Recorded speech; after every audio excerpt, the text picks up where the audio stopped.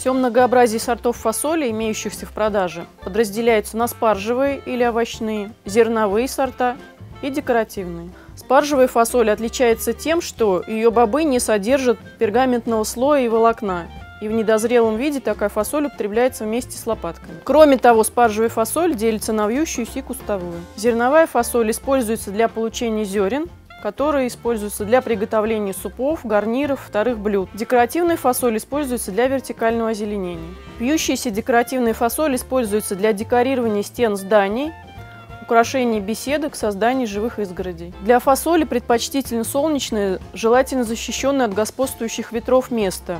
Почвы для фасоли должны быть рыхлыми, предпочтительно супесчанные и хорошо известкованные почвы.